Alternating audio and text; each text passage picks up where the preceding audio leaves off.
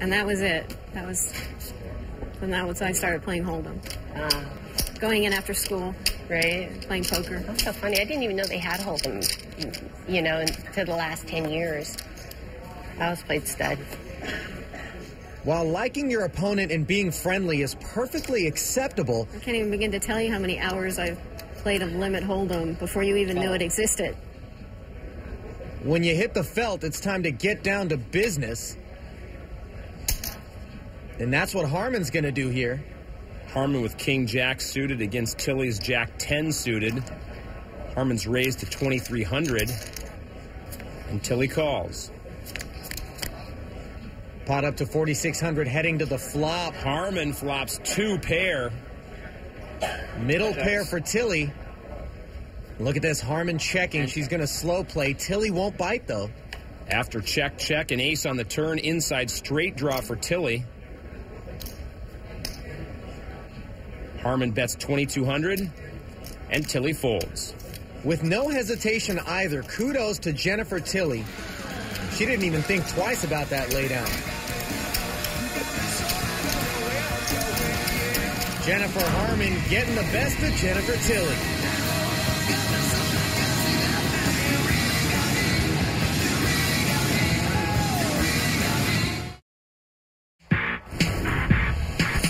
Welcome back to the Caesars Palace tournament room.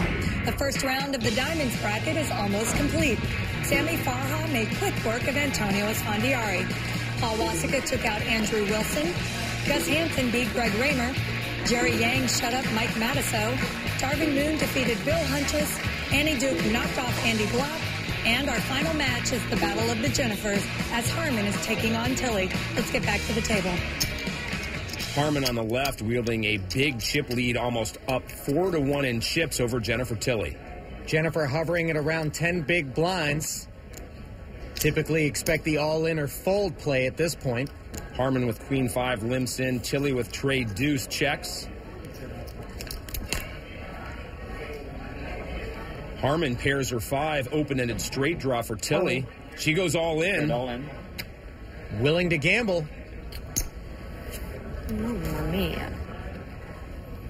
Notice Harmon isn't calling right away. She wants to think things through. I thought I had a four in my hand, but I didn't. It's unlikely Tilly has a four in her hand either. Or she'd probably check. Hope to trap Harmon. Pocket pair also pretty unlikely. Probably would have shipped it in pre-flop. It costs her a quarter of her stack, but Harmon calls. Tilly at risk. Tilly Harmon with a chance to advance. 8,000, Pushed in on the top. Tilly's looking for an ace or a six to hit that straight draw. Eight outs. Tilly gets the queen five for Jennifer Harmon. Yeah, Top outs. pair. Outs. I mean, it's better than having two threes, yeah. right? I need an ace Or a six. or a six. An ace or a six. Hmm. Here's the turn. And Turn no help to Tilly, and she knows it good. still needs that ace or six. Tilly needs an ace or a six. Anything else, and Jennifer Here's Harmon her. is moving on. And it is a three. Harmon Jennifer wins Harmon the Battle of the Jennifers. She'll complete our round of 32, while Tilly will be one and done in 2010. No worries. Like to play you. Tilly never really got anything going.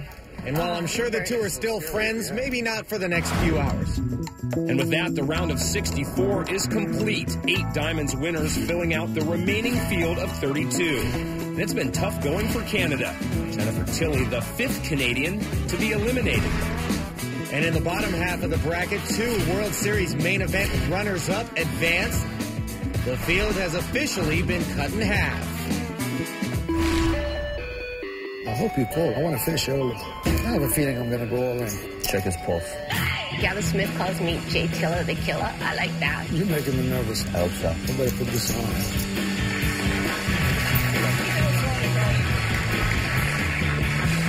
Nice playing with you. Good luck. I'm here on a mission. For Ali Nejad and Leanne Tweeden, I'm Craig Hummer saying so long from Caesars Palace, Las Vegas. You've been watching the National Heads Up Poker Championship. You want me to sing the Canadian national anthem? This is scary. I can't sing. I'm like completely tone deaf. You Want me to sing? Oh, Canada. Oh, oh Canada. Oh, Canada. See, I told you I'm tone deaf. I can't do it. I forget the rest. My home and native land. Yeah, I can't do it. True patriot love in all thy sons command. We have a much easier national anthem than the Americans do. No, no high notes.